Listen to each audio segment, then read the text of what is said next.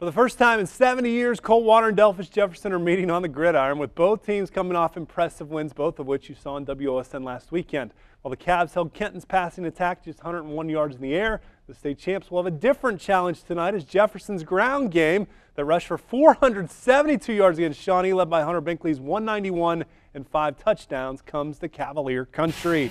Start of the second quarter, lightning delay in this one as well. Cavaliers on top 14 0 of DJ. Jack Hemmelgarn back to pass. He's in a heap of trouble. Dumps to Petey Post. Watch 18 go all the way to the Jeff Cap 5.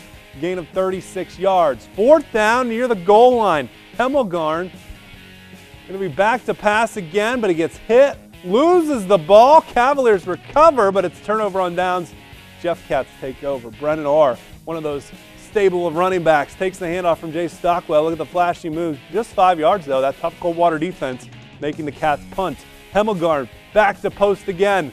Screen pass and go, Petey, go. Breaking tackles, one, two, three of them.